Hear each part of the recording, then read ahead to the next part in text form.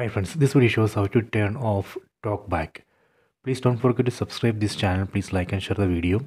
Go to settings, select settings icon from top right corner. Go to device preferences. Under device preferences, select accessibility. So here we can see talkback. Right now talkback is off. Let me turn on talkback select talkback then enable here. Select ok. See now i have enabled talkback so this way we can enable talkback see. So if you want to disable or turn off talkback again go to settings device preferences. Under device preferences select accessibility.